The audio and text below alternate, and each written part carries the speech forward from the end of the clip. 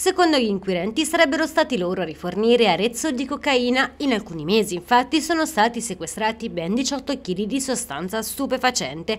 In manette adesso sono così finiti due presunti pusher, entrambi pregiudicati.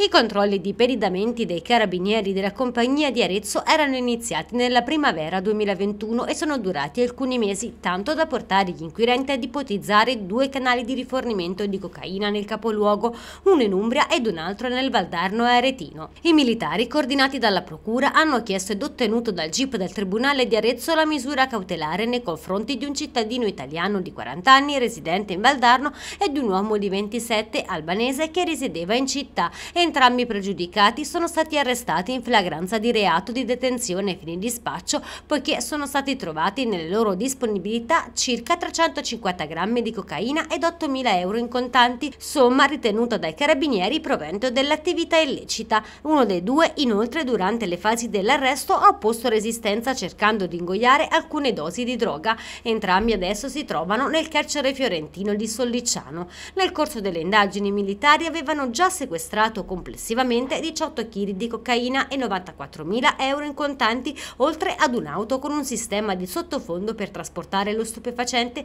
che al dettaglio avrebbe potuto fruttare 1 milione e 300.000 euro una volta immesso nelle piazze dello spaccio.